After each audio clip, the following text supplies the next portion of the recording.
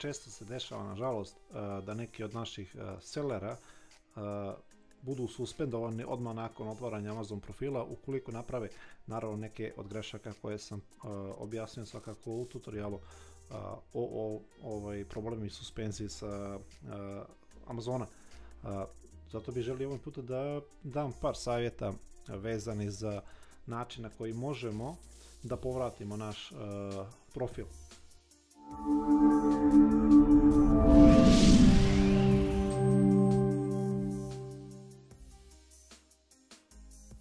Ukoliko se desi da Amazon suspenduje naš nalog prilikom otvaranja, jel tako, postoji jedan način, jedini način da se povrati naš profil, a to je da se napiše appeal letter ili naravno PO, POA letter. To se tačnije odnosi na plan of action ili plan koji ćete preuzeti da biste ispravili greške koje ste napravili.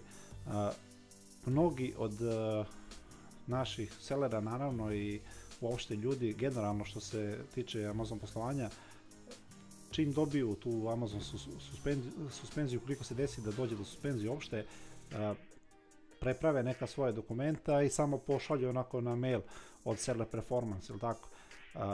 ono što morate da uradite jeste da napišete, da ispratite tri koraka koje su, koje su važna kako bi se napravilo kvalitetno API letter ili POA. Ono što morate znati jeste da kada, kada pišete API letter, u prvom dijelu morate naglasiti šta je to, šta je razlog što je došlo do te vaše greške u kojoj jeste prekršili Amazon pravila. Znači mora da se, da se napiše jasno, praktično da priznajete grešku, da je došlo do ovaj, vašeg naravno neznanja ili, ili greške, nenamjerne greške u koje niste ispoštovali Amazon pravila. Ono što ne smijete raditi jeste da ne smijete suditi Amazonu i da u vašoj poruci ne smije stojati nikakav ironičan ili bilo kakav osjećaj da, da želite da omalovažite naravno Amazon ili bilo koga, jel? Jer već morate da, što kažu, da spustimo ego, jel?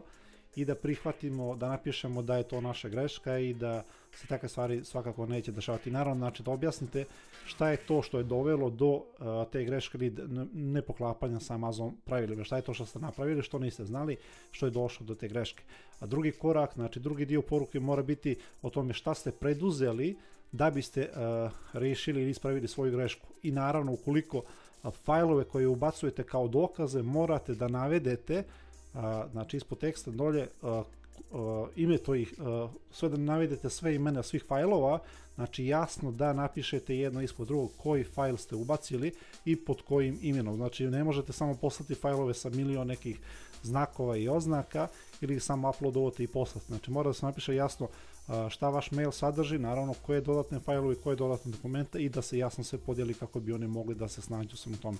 Jer morate znati da nemate puno puno vremena jel, da, se, da, se, da se te stvari isprave, već ukoliko šaljete bezbroj, nekoliko puta, Amazon ima to neko ograničenje od par poruka s kojima, u kojima će pokušati da vas, da vas razumije, da vam da ispravi vašu grešku, ali ukoliko jednostavno ne vodite račun o ovim koracima, jednostavno će samo poslati poruku da od e, od ove poruke naravno kasnije više neće da odgovaraju na vaše, na vaše poruke.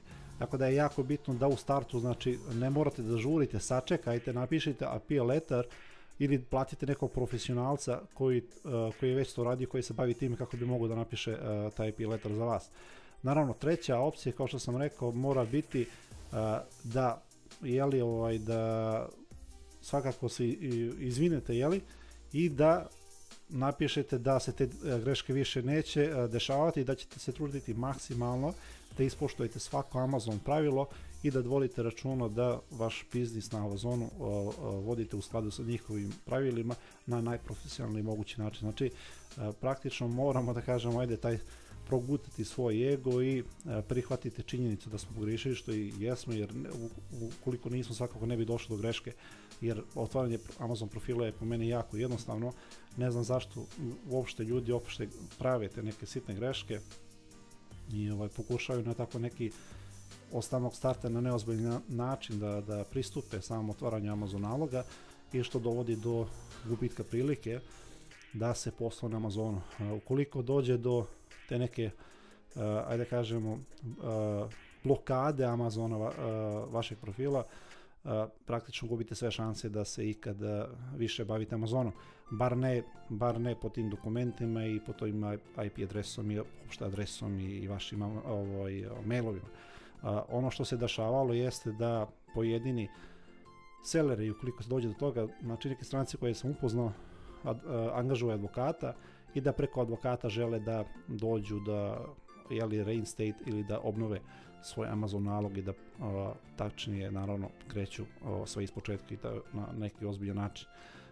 ja vama svakako ne bih savjetovao da se da gubite tu šansu i da već ukoliko se desi da dođe do suspenzije, ne daj Bože u samom startu, sačekate, napišete appeal letter, savjetujete se sa nekim ko, ko se ozbiljno bavi Amazon poslanje, svakako možete po, pošaljete poruku na našem zidu u Slobodne Amazone Balkan da pogledamo i naravno onda te, posle toga da pošaljete pošaljete to pismo i da praktično sačekate da budete strpljivi da Amazon odgovori o čemu se radi i možda imate još jednu ili maksimum dvije šanse, ja mislim može još jedno da se to ispravi i da se napiše ovaj, kako treba. Tako da je jako bitno kao što sam rekao, da to napiše neki profesionalac, e, čak i ako treba da platite 50, 100 dolara, 150, da neko to napiše nije strašno, ali važno je da ne propustite tu šansu. Ja sam nadam da, se, da vam je ovaj tutorial svakako pomogao. Pišite u komentarima koliko vas još nešto zanima ili temu koju bi željeli da snimimo. Vidimo se u sljedećem tutorialu. Prijatno!